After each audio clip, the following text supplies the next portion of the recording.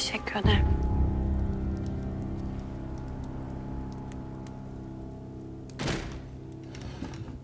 Buyurun. Kimse yok mu? Yani ikimiz miyiz sadece? Evet. Beğenmedin mi yoksa? Biraz abartmıyor musun? Yok. Sa- sana abartılı mı geldi? Biraz. Yani ne bileyim ben sevgilimle olacağım, böyle baş başa olacağım falan diye düşünmüştüm ama be- beğenmediysen başka bir yere gidelim. Yani nereye gitmek istersen söylemen yeter. Hayır hayır. Gayet iyi burası onun için söylemedim. Oğlum gerçekten söylüyorum. Beğenmediysen hani Behram sahiden gayet iyi. Yiyebiliriz yemeğimizi.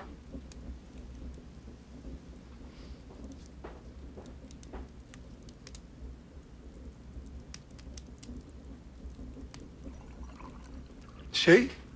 e, sen Levent'le tanıştın. Evet. Şu şey yapsana bir ya. Levent'i bir çağırsanız bana.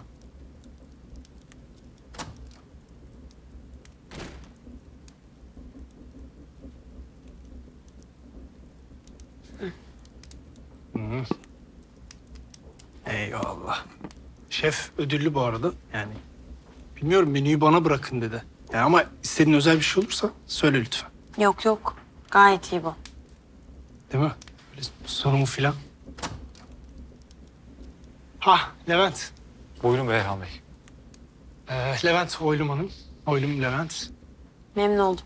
Ee, Oylum Levent Bey senin şoförün. Neyim? Şoförün. Yani e, numarasını veririm ben sana kaydedersin. Sana verdim zaten. Oylum'un numarası var değil mi? Kaydettin. Tabii ki Behram Bey. Oylum Hanım, emrinizdeyim. Eyvallah.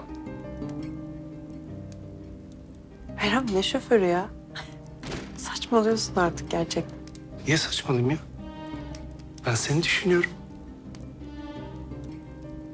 Sahiden abartıyorsun her şeyi. Abartmıyorum. Öyle taksi dolmuş falan uğraşma istedim. Telefon. Çağırırsın Levent'i.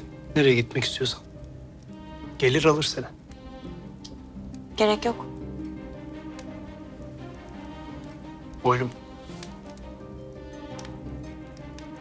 Senin için yapmak istediğim daha çok şey var benim. Yapacağım da. Ama zamanla. Ne gibi şeyler? Her şey. Dünyayı ayaklarımın altına sereceğim seni.